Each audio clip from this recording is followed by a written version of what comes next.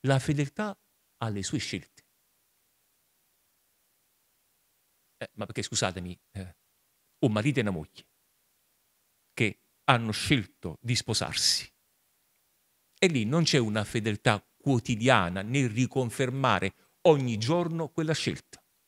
Perché certamente un marito e una moglie che sono sposati non è che l'uomo, siccome ha scelto quella donna, vuol dire che non vedrà altre donne che possono essere anche oggettivamente più belle, però lui ha scelto quella lì, capite?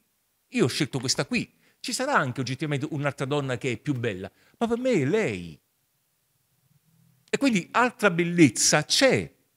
La posso anche riconoscere che quella lì effettivamente fisicamente è più bella.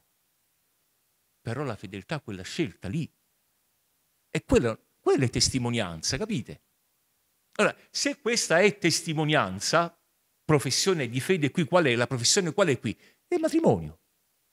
Allora, Lì invece la testimonianza quotidiana alla quale tu comunque devi lottare, perché devi lottare, perché la tentazione non è semplicemente che viene il demonio lì e ti vuole tentare perché fai la bestemmia, o viene il demonio e ti vuole tentare perché tu vuoi rubare quella cosa.